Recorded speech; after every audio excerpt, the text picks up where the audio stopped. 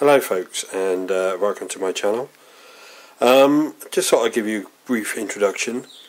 Um, so what I'm looking to do is hopefully upload a couple of battery reports on the channel and progress reports and painting guides and so on and so on. Um, I just thought I'd show you just some of my miniatures quickly just so you get a bit of an idea as to what to expect.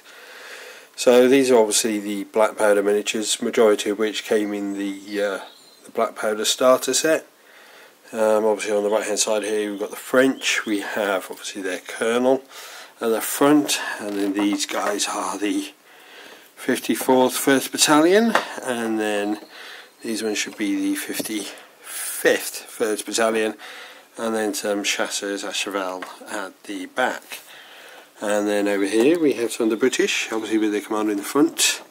And then this 1st Battalion is the 52nd 52nd, uh, 52nd Regiment there. Then these should be the 23rd. Yes, they're the Welsh ones.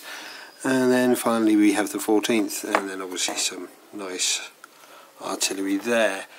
Um, as I say, obviously I'll be looking to do a couple of battery ports and so on. So um, if you, I do do bolt action as well, so uh, stay tuned and hopefully you'll see some more. Cheerio. Bye.